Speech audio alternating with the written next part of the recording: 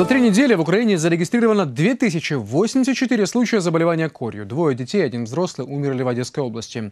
Вспышка болезни, говорят врачи, произошла из-за низкого уровня вакцинации. Эту тему продолжит моя коллега Инесса Занина.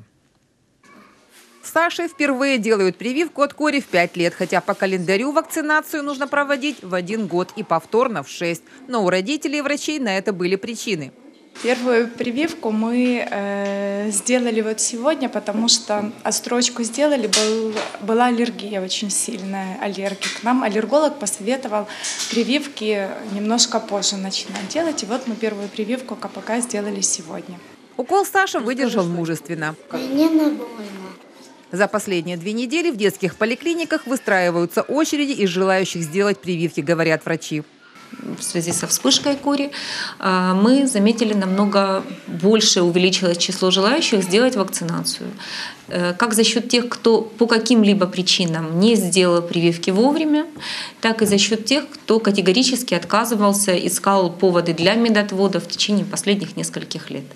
В прошлом году в Украине комплексную прививку от кори, паротита и краснухи получили более 93% малышей в возрасте одного года. Повторную 6 – 96% детей. Это соответствует нормам ВОЗ. Нынешняя вспышка, говорят в Минздраве, следствие пренебрежения календарем прививок до 2017 года и недоверия родителей к вакцинации. Альтернативной профилактики вирусным заболеваниям нет, говорят врачи, и приводят цифры заболевания корью за последние три недели.